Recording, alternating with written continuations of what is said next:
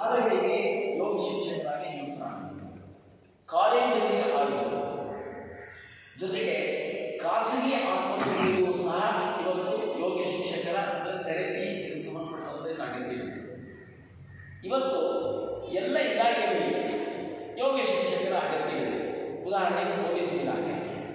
ಅಲ್ಲಿ ಇರುವಂತಹ ಪ್ರತಿಯೊಬ್ಬ ಸಿಬ್ಬಂದಿಗಳಿಗೂ ಮತ್ತು ಅಧಿಕಾರಿಗಳಿಗೂ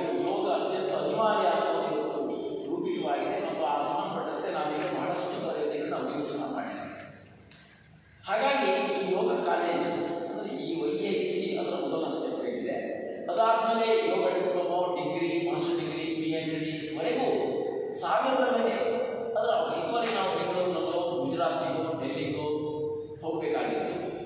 ಅಂತಹದ್ದು ಇವತ್ತು ಸಾವಿರದ